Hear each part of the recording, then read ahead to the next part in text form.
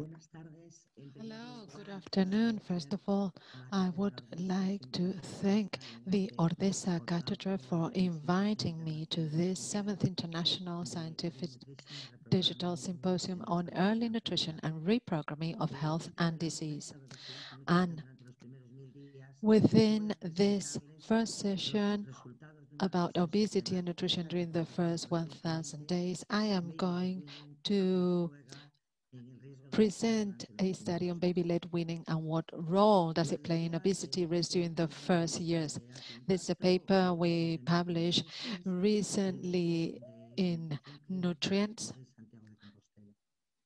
and this was a study conducted by the Clinical Nutrition Group of Santiago de Compostela. We know obesity in children is one of the pandemics of the 21st century. There is a higher prevalence of overweight and obesity worldwide in all social groups, in all countries, and it has increased from 4% to 18%. And in the European Union, one in three 11-year-olds are overweight or obese. And this is important because obese or overweight children have a high risk of becoming obese or overweight adults. And the prevalence of overweight or obesity can appear at a later age and there is a higher risk of comorbidities, respiratory, metabolic, or cardiovascular comorbidities. And when talking about comorbidities, we also have to mention psycho-emotional and psychosocial alterations and nutritional alterations because usually overweight and obese children usually have nutritional deficits due to a bad diet and because the body fat in the case of vitamin D doesn't allow it to work properly. In Europe, we see an increase of the prevalence from north to south, and in southern Europe, we had the Mediterranean diet and Atlantic diet that are traditionally healthy. However, there is a high prevalence of obese and overweight in, young generations who don't abide by the traditional diets. And we see that there are different risk factors. We have genetic factors and environmental factors for the development of overweight in infancy. When we talk about environmental factors, we are referring to dietary habits and the reduction of physical activity due to a higher activity with screens and the first 1,000 days of life are very important. You know how in the fifth or sixth year there is a fat rebound. And with regard to the first 1,000 days of life, we're talking from the moment of gestation till the end of the second year. And it's a window of opportunity for preventive strategies that can prevent overweight and obesity. And within these strategies, we would have supplementation. And with regard to supplementation or complementary feeding, we are still developing different strategies. And in 2017, the ESPGHAN published a paper, a positioning paper, regarding the introduction of solids and liquid different from formula or breast milk. The question is, when should complementary feeding be introduced and how and when? The WHO recommends exclusive breastfeeding during the, during the first six months of life. In any case, no food different from formula or breast milk should be introduced before uh, four months, but it shouldn't be later than six months. And with regard to the type of food Allergenic foods may be introduced at any time after four months. Gluten may be introduced between four and 12 months, but the recommendation is that the consumption of large quantities should be delayed and avoided during the first weeks of introducing gluten and during the complementary feeding period.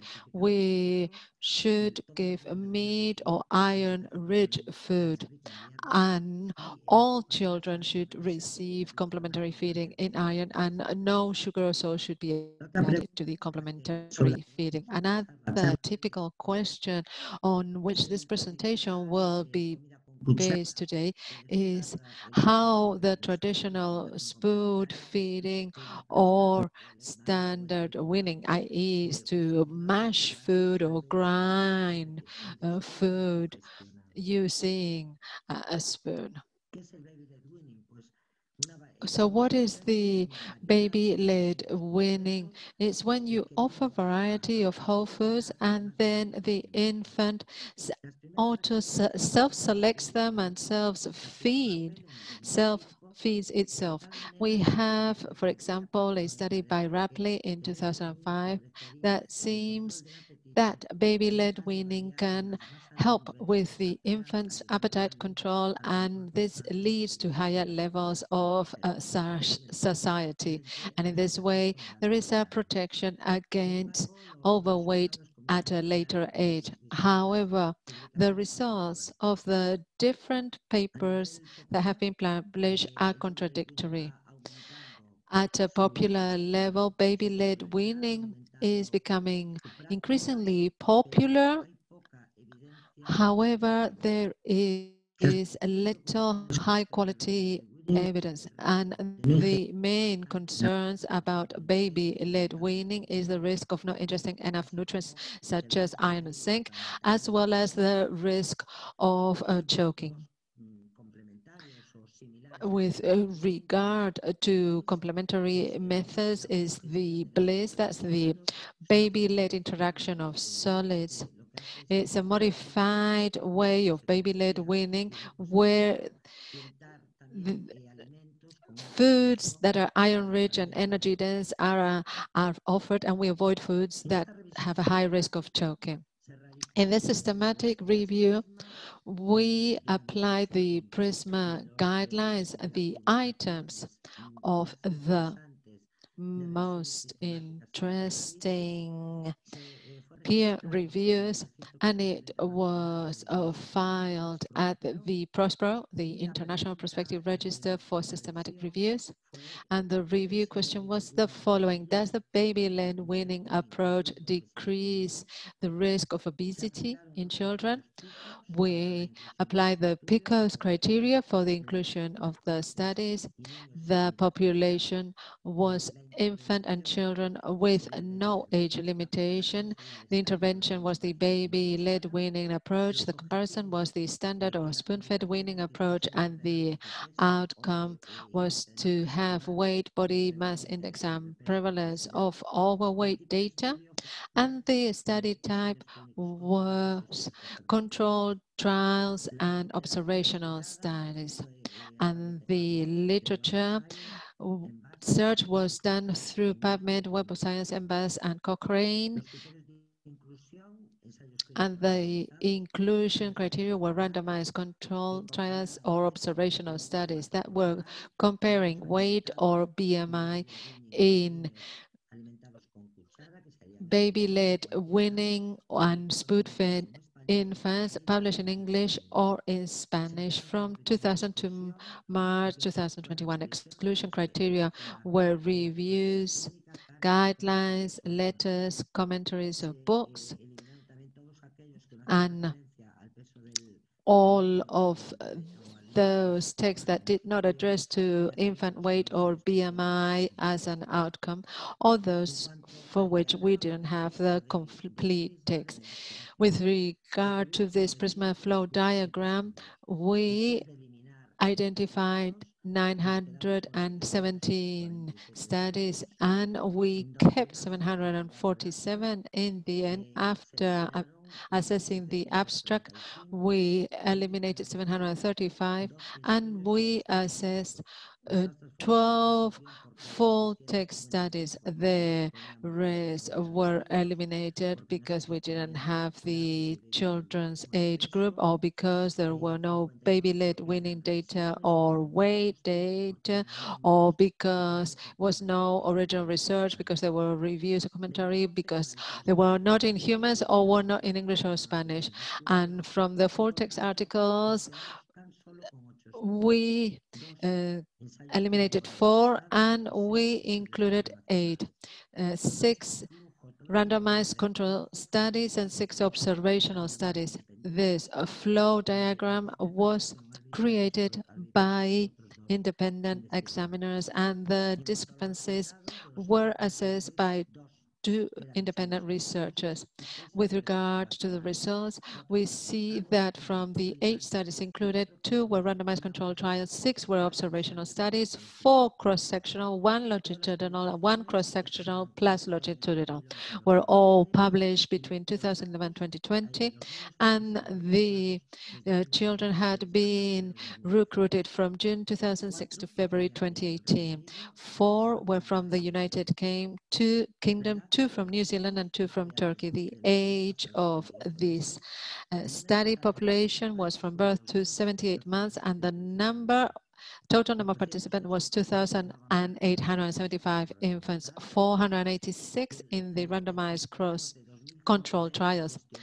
And we had 2,120 online questionnaires and 1,430 children had been fed by baby-led weaning and 339 with partial baby-led weaning and 1,435 with spoon feeding or standard feeding. In terms of the risk of bias assessment, given that this was a systematic review with a moderate to high risk of bias, we applied the Dogan and Taylor tools, the Dogan showed a moderate risk of bias, mainly due to the fact that we didn't find the pre-registration of the trial and the Taylor one was high because it didn't state why those data had been lost. In terms of the assessment of the observational studies, we applied the ROBINS 1 tool. And the Brown and Lee of 2015 and the Townsend Pitchford of 2012 with a high risk of bias because there was no pre-registration of the studies and there was no analysis of the confusion variables. In the findings, we established that there was a considerable variation in the results, so no reliable recommendations can be established. The findings of the observational studies can be influenced by different factors and must be interpreted with caution, and the risk of bias is moderate to high in all the studies because we are talking about just eight studies. The Dogan study is the most recent randomized clinical trial with 280 breastfed infants. And the inclusion criterion was breastfed infants. 142 were receiving baby-led weaning or bliss. You know how bliss is introducing highly uh, uh, foods rich in iron and zinc, and zinc and foods that do not cause choking. And six um, visits were done, follow-up visits, and the children were assessed from the age of five months to 12 months. Then we have the Taylor study of 2017 with 206 women in late pregnancy with 166 infants that were fed through baby-led weaning and bliss and there were different follow-up visits. And these 206 women in late uh, pregnancy were assessed at 12 months and 166 infants were assessed at uh, 24 months, 88 on baby-led weaning and bliss, and 78 with traditional spoon feeding.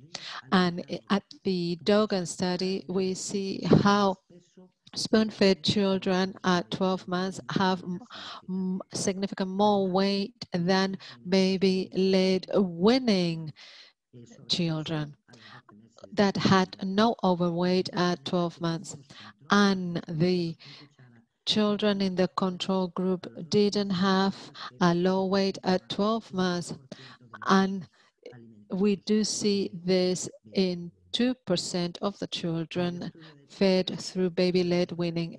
In Taylor's study, there are no significant differences in the BMI at 12 months or 24 months. However, there's a higher risk of overweight in baby-led weaning fed children at 12 months, 2.5 more risk, and at 24 months, it's 1.8 more risk than children that receive spoon feeding, but these differences are not significant. Why do we see different findings between these two trials, the Dogan trial and the Taylor trial? Well, there are other factors that can influence weight gain. For example, the type of uh, milk that is uh, used. And it's still the main food during this period, the energy intake, the energy self-regulation, and also de demographic variables or the weight gain of the mother during pregnancy or the weight of the mother in general. In the case of Taylor, it did not include breastfeeding as an inclusion criterion, and the follow-up periods are different. With Dogan, it's at uh, 12 months. With Taylor, it's at up until 24 months. According to these studies, According to the six observational studies, we see that the results are more similar to that of Taylor's trial. For example, in Townsend and Pitchford study of 2012 in the United Kingdom, it included 155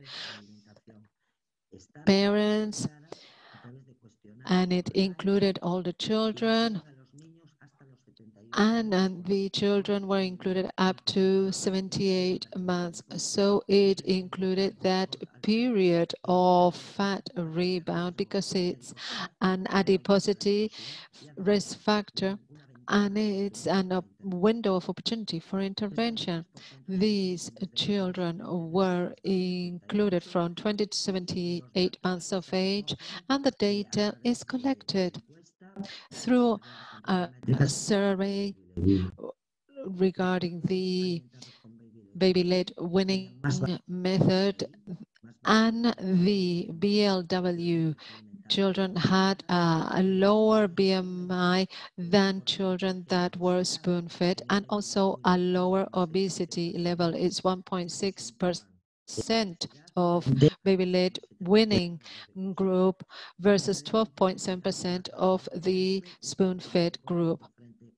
And the uh, low weight was higher in the baby-led weaning group. In 2015, we have the Brown and Lee study with 298 children that came from a previous study, cross-sectional study.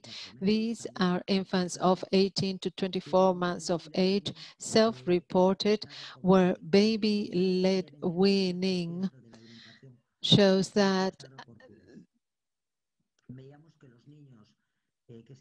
in uh, versus the um, spoon-fed children that had a higher weight at 18 months and the baby-led weaning group had less overweight than the traditional spoon-fed children.